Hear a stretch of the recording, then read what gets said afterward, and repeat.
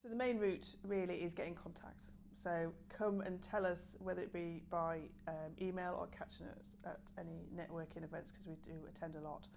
Come and tell us what you do and be persistent. So you know we all get a lot of emails, but keep keep telling us, keep communicating with us about what you do.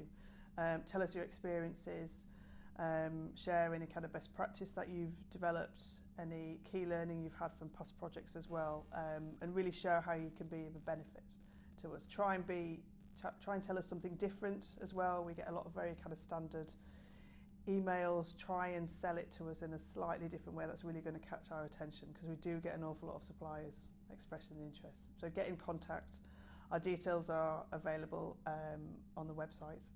Um, but and, and feel free to catch us at any networking event, whether Britain's Energy Coast Business Cluster or any of the um, NDA events we attend.